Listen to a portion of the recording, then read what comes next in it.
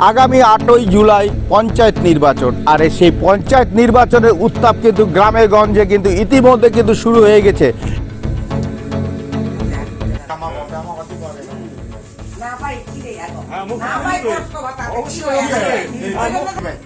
আচ্ছা ঠিক আছে খাবার রাজীব বক্তি মুই দেখি মুই নিজে দেখি এবার মুই নিজে দেখি এবার খাবারটা this voter card Aadhaar card details ration card বাপ মায়ের নাম মোবাইল নাম্বার কেউ কোনো অংশে কিন্তু কম নয়। এক ইঞ্চি মাটি কিন্তু কেউ ছাড়ছে না। এরই ফাঁকে আমরা দেখছি প্রচারে কিন্তু জোর কদমে ব্যস্ত তৃণমূল কংগ্রেসের প্রার্থীরা। আমাদের সামনে রয়েছে কালিয়াগঞ্জ পঞ্চায়েত সমিতি পাঁচ নম্বর আসনের প্রার্থী প্রবোধ দেব শর্মা। তা কেমন লা- এই প্রচার আপনি করছেন? কেমন সাড়া পাচ্ছেন? খুব ভালো সারা পাচ্ছি আমি। আচ্ছা। এই পাঁচ নাম্বার বিএস এর মধ্যে আমাদের যে উনত্রিশ নাম্বার বুথ খুব ভালো সারা পাচ্ছি আমি। আচ্ছা কি কি বলছেন মানুষকে?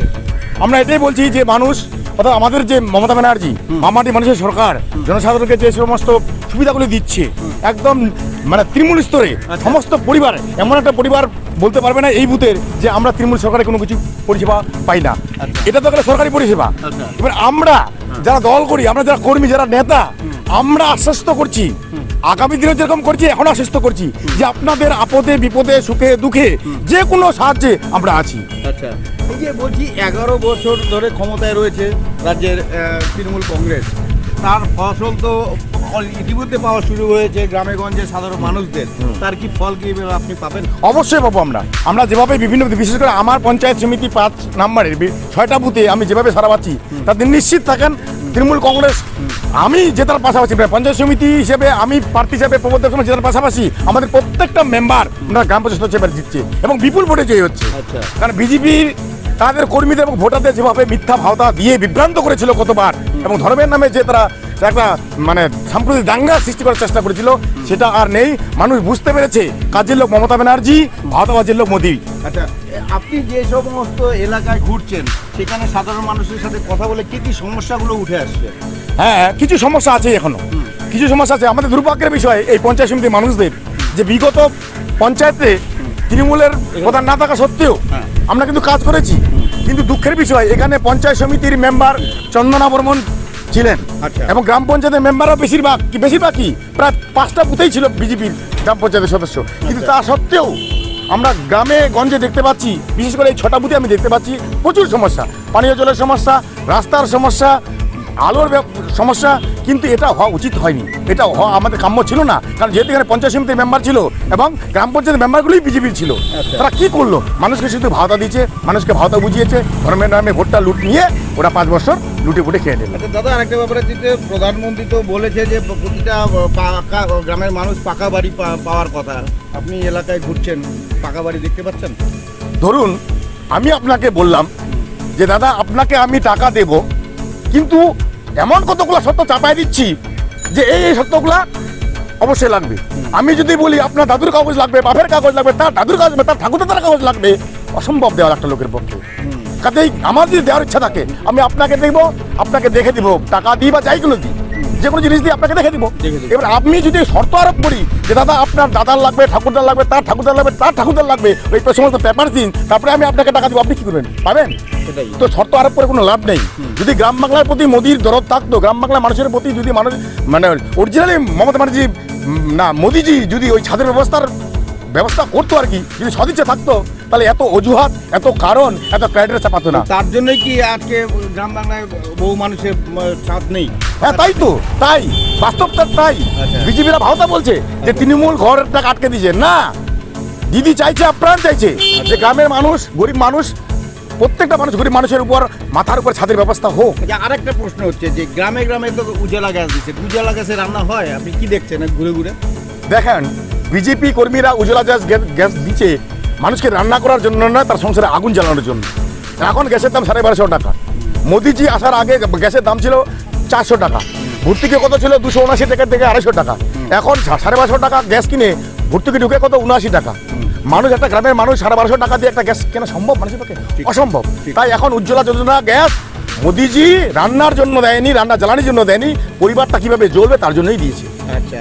যাই হোক এবার আপনি যে এই যে ঘুরছেন আর মাত্র তো কটা দিন বাকি রয়েছে হিসাব নিকাশ করছেন অলরেডি তো কষা হয়ে গেছে হয়ে হ্যাঁ তাতে কতটা রেজাল্ট কি হচ্ছে মনে হচ্ছে? আমি ইতিপূর্বে বলেছি আমি যেহেতু দীর্ঘদিন ধরে রাজনীতি করি রাজনীতির একটা হাওয়া রাজনীতির একটা পরিবেশ বা মানুষের সঙ্গে এই যে মত বিনিময় আদান প্রদান তাতেই বোঝা যায় যে আমরা এবার ভালো রেজাল্ট করতে চলেছি যেটা বিগত দিনে আমরা পাইনি।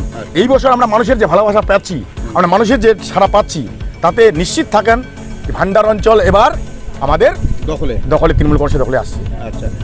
আমরা শুনলাম প্রার্থীর সঙ্গে কথা বললাম পাশাপাশি আরেকজনের সাথে একটু কথা বলে নেব।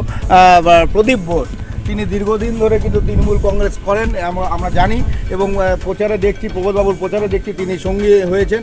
কি বুঝছেন চারিদিকে আওয়াজ? আওয়াজ একটাই বুঝছি সাত নং অঞ্চলে চরম বিজেপি বিরোধী হাওয়া বইছে তৃণমূলের সপক্ষে হাওয়া বইছে।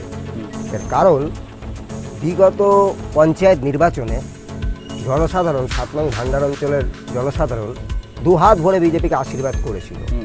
কিন্তু পাঁচটা বছর তো কম সময় নয়। এই পাঁচ বছরে তারা বুঝে নিয়েছে বুঝে গিয়েছে জনসাধারণ যে সত্যিকারের কাজের মানুষেরা না কীভাবে কাজ করতে হয় উন্নয়নটা কী জিনিস খায় না মাথায় দেয় বিজেপির নেতৃত্ব কিংবা মেম্বাররা এটা জানে না। এটা শুধু রাস্তাঘাট আমরা একটু প্রচারে গিয়েছি অনেকে বলছে রাস্তা হয়নি এই হয়নি ওই হয়নি। হ্যাঁ তো তাদের বক্তব্য যে রাস্তাটা যে হয়নি মেম্বাররা করতে পারেনি, এইবার বিজেপিকে ভোটটা দেওয়া যাবে না। এমনকি শুধু রাস্তাঘাট ছাড়, উন্নয়ন এসবের পাশাপাশি সাধারণ মানুষ যখন বিপদে পড়ে হয়তো সেই মানুষটা বিজেপি করেছে কিংবা ওপেন বিজেপি করেছে কিংবা বিজেপিকে ভোটটা দিয়েছে। অথচ দেখা যাচ্ছে সেই বাড়ির পরিবারের কেউ হয়তো হসপিটালে ভর্তি আছে হয়তো রক্তটা লাগবে কিংবা একটু ভালো পরিষেবা লাগবে। সেই ক্ষেত্রেও তারা বিজেপির নেতাদের কাছে দ্বারস্থ হয়ে ব্যর্থ হয়েছে। বিজেপির নেতারা করে দিতে পারেনি কারণ সেই মানে কাজ করার ইচ্ছাটাই হয়তো তাদের নেই। নেই। পরবর্তীতে তারা আমাদের কাছে এসে সেই সুযোগটা পেয়েছে সেই পরিষেবাটা পেয়েছে তারপরে তারা এটা স্বীকার করতে বাধ্য হয়েছে আমরা দাদা বিজেপি করা সত্ত্বেও আপনারা যে এই পরিষেবাটা দিয়েছেন আমরা তাতে কৃতজ্ঞ এমনকি আজ থেকে আমরা আপনাদের পাশে আছি বলে তারা বিজেপির পতাকাটা ছেড়ে তৃণমূলের পতাকাটা ধরেছে আচ্ছা আপনারা শুনতেই পারলেন প্রদীপবাবু দীর্ঘদিনের এই যে তৃণমূল কংগ্রেস কর্মী নেতা তিনি কিন্তু মানে তার বক্তব্য তিনি বললেন এবার দু একজনের সাথে কথা হলো আপনি কি প্রার্থী হয়েছেন এবার? হ্যাঁ কোন কোন আসন থেকে? আমি হচ্ছে কেউটান থেকে কেউদান থেকে কি বুঝছেন? সাধারণ মানুষের সাথে কথা বলছেন গৃহিণীদের সাথে কথা বলছেন কি বলছেন সবাই তো বলছে হ্যাঁ এবার আমরা দিব। পাঁচ বছর ধরে আমরা বিজেপি বিজেপিকে দেখলাম কোনো কিছু পেলাম না। সবাই আমাকে মানে আশীর্বাদই করছে সবাই দিতেই চাচ্ছে। আচ্ছা আপনি জিতলে কি কাজ করবেন এলাকায়? এলাকায় জিতলে সাধারণ মানুষ সমস্যাগুলো শুনব সেভাবে কাজ করব। আচ্ছা। তো এর আগে কি আপনি রাজনীতির সাথে যুক্ত না না আমি এবার নতুন। আচ্ছা। আপনার স্বামী কি করে? আমার স্বামী একজন সিভিক ভলেন্টিয়ার।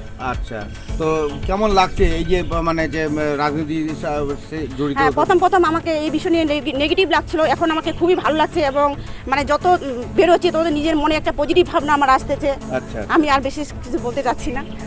বুঝতেই পারছেন নতুন প্রার্থী। তো বিশেষ কিছু বলতে চাচ্ছে না ঠিক আছে। আমরা দেখছি প্রচারে কিন্তু ঝড় উঠে গেছে ইতিমধ্যেই। মেঘলা ওয়েদার কিছুদিন আগে অবধিও কিন্তু যে ওয়েদার ছিল খুব গরম সেই গরমেও কিন্তু মানুষ হচ্ছে বেরোতে পারেনি। কিন্তু আমরা একটু সাধারণ মানুষের সাথে কথা বলি। দিদি একটা কথা বলছি আপনি কিসে রান্না করেন? গ্যাসে পেয়েছেন? পাইছি। রান্না করেন না কেন? করি নাই। কেন? দাম বেশি। হ্যাঁ দাম বেশি। দাম বেশির জন্য? অসুবিধা হয় না? না খড়িতে রান্না করছেন? খড়ি দিয়ে রান্না তাহলে গ্যাস নিয়ে দিয়ে নিয়েছেন যে? দাম বেশি তার জন্য। আচ্ছা আচ্ছা ঠিক আছে ঠিক আছে।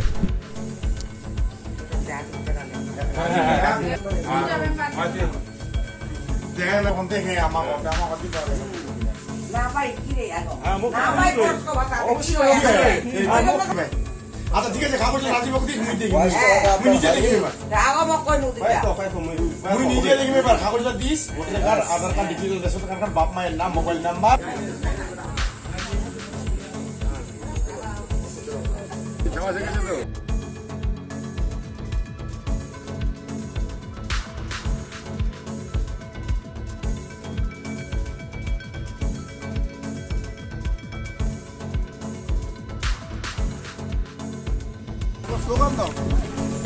বন্দে মাতারাম বন্দে মাতরম বন্দে মাতারাম বন্দে মাতরম। তৃণমূল কংগ্রেস উন্নয়নের স্বার্থে কংগ্রেস